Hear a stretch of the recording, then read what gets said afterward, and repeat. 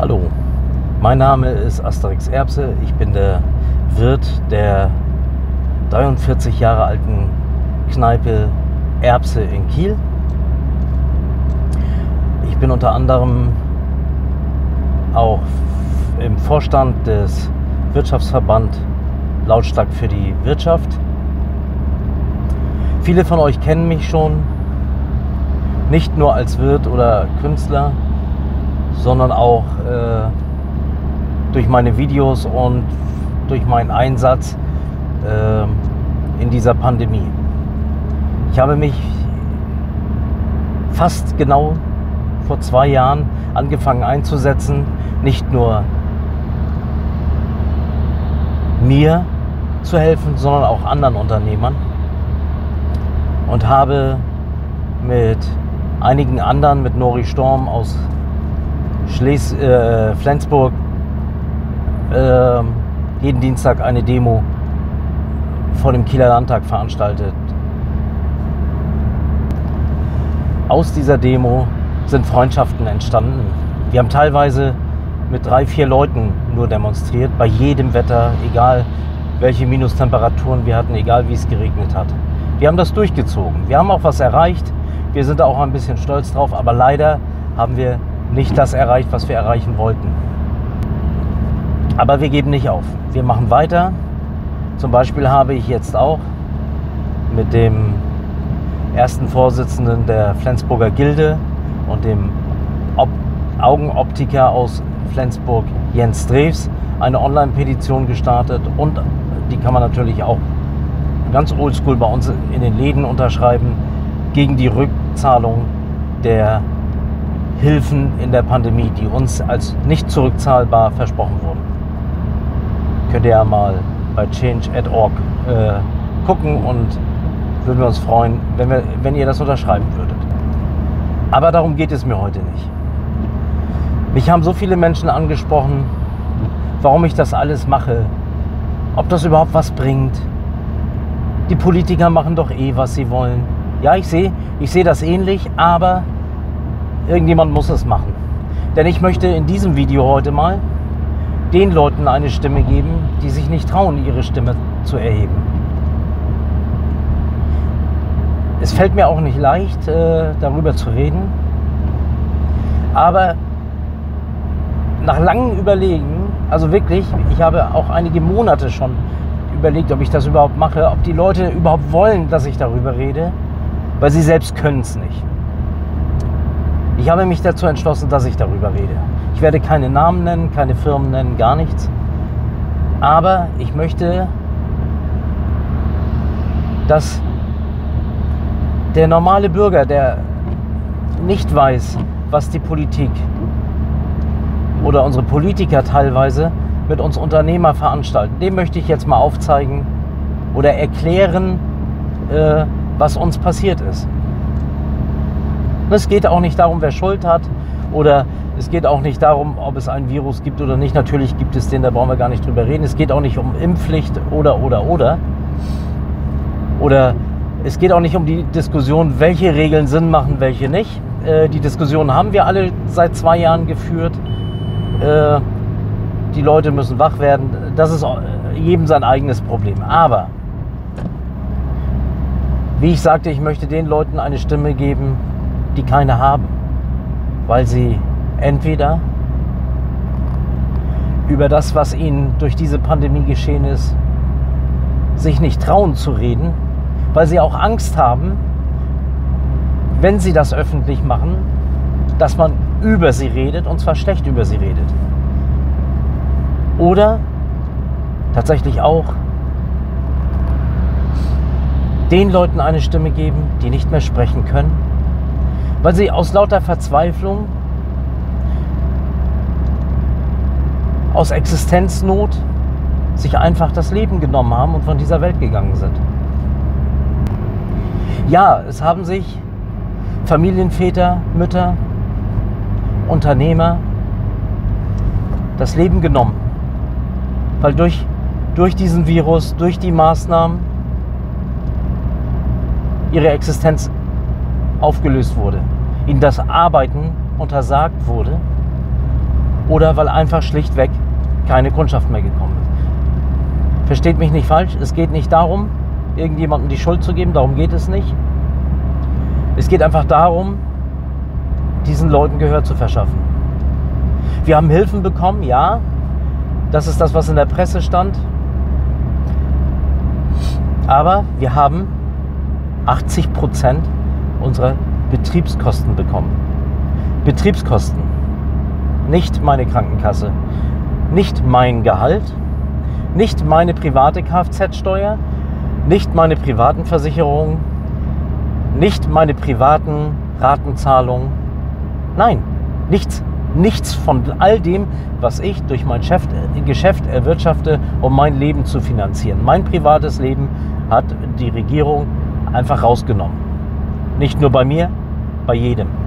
So, dann haben wir Hilfen bekommen, 80 Prozent der Betriebskosten, also 80, nicht 100.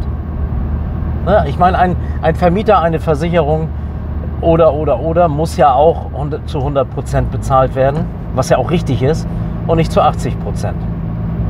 Das haben natürlich die meisten nicht mehr geschafft.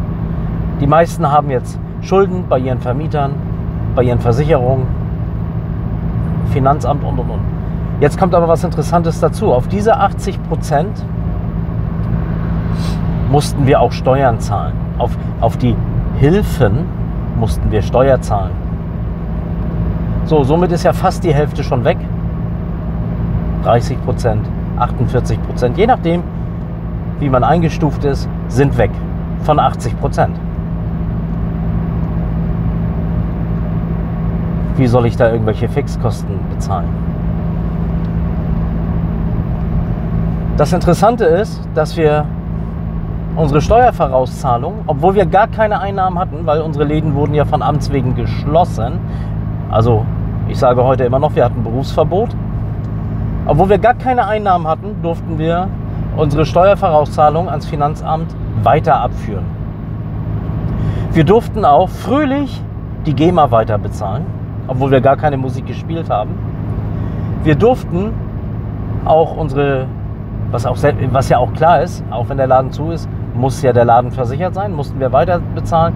Wir mussten IHK weiter bezahlen, wir mussten die Berufsgenossenschaften und, und, und. Musste einfach alles fröhlich weiter bezahlt werden. Von quasi der Hälfte von 80 Prozent. So. Das haben natürlich, hat natürlich so gut wie kein Unternehmen äh, wirklich geschafft, ohne Schulden zu machen. Einige wenige, die durch diese Pandemie profitiert haben, natürlich. Das ist ja auch okay. Irgendjemand muss ja profitieren. Aber daraufhin sind so viele Unternehmen jetzt schon pleite gegangen auch im ersten Lockdown haben so viele Unternehmen Insolvenz angemeldet, haben geschlossen. Da wird nicht drüber geredet. Es haben so viele Unternehmer sich aufgehängt oder irgendeinen anderen Suizid begangen. Da wird nicht drüber geredet. Ich kenne Unternehmer, mehrere, die haben zum Beispiel, die standen vor der Entscheidung, also große, nicht so kleine wie ich, die standen zum Beispiel vor der Entscheidung, verkaufe ich mein Haus, was ich mir in den letzten zehn Jahren zusammengespart und erbaut habe und rette meine Firma? Oder schließe ich meine Firma und verliere mein Haus trotzdem, weil ich es ja nicht mehr halten kann, wenn kein Geld reinkommt? Die Leute haben sich dazu entschieden, ihr Haus zu verkaufen, ihre Wohnung zu kündigen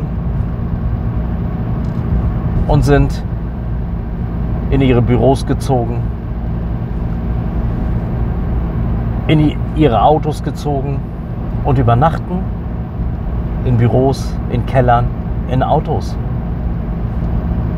Und sie können nicht drüber reden. Sie können einfach nicht drüber reden. Sie wollen auch nicht drüber reden, weil sie einfach Angst haben,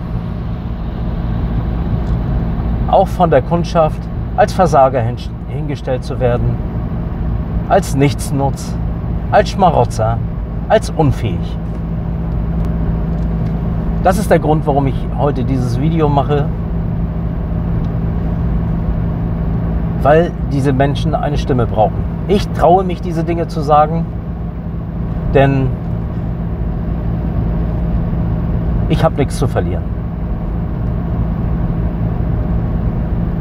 Circa vor zwei Jahren bin ich mit meinem Betrieb umgezogen. Hätte ich das einen Monat später, einen Monat später war der Lockdown, hätte ich das einen Monat vorher gewusst, also vor zwei Jahren, wäre ich nicht mehr umgezogen. Ich hätte meinen Betrieb geschlossen und hätte mir irgendeinen Job gesucht. Aber so bin ich nicht.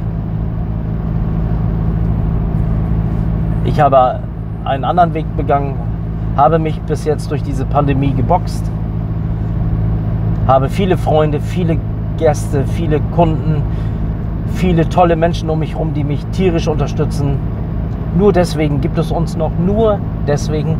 Nicht, weil ich so toll bin, nicht, weil ich so gut bin, einfach nur, weil ich super Leute um mich herum habe, die mich maßlos unterstützen. Und dafür sage ich Danke. Das hat aber leider nicht jeder. Jetzt hat die Politik zwei Jahre rumgeeiert mit Maßnahmen, ob sinnvoll oder nicht, da wollen wir gar nicht drüber reden heute. Und nun kommt die Salami-Taktik. Der Einzelhandel, die Baumärkte waren die ganze Zeit geöffnet, die ganze Zeit. Da wurde auch nie, über die Baumärkte wurde auch nie gesprochen. Und Herr Daniel Günther hat die letzten Tage uns gerade in der Gastronomie wieder eine Lockerung gegeben. Unsere Sperrstunde um 23 Uhr fällt weg. Herr Günther, das bringt gar nichts. Das bringt nichts. Vor allen Dingen dieses immer hin und her, immer hin und her. Und das Ganze seit zwei Jahren. Zwei Jahre wurde den Bürger Angst gemacht. Sie wurden verwirrt. Sie wurden mit Maßnahmen, Änderungen so zugeschüttet, dass nicht einmal die lieben Mitarbeiter des Ordnungsamtes bei einem Anruf klar antworten können. Die müssen alles gegenlesen und alles hinterfragen, um uns eine seriöse Antwort geben zu können. Das darf so nicht sein. Ich möchte alle Gäste, alle Kunden, egal ob vom Baumarkt, vom Supermarkt, von Kneipen, von Restaurants, bitten, kauft bitte nicht im Internet, auch wenn es da günstiger ist. Denn die, die Firmen im Internet sind keine Firmen, die in Deutschland ansässig sind.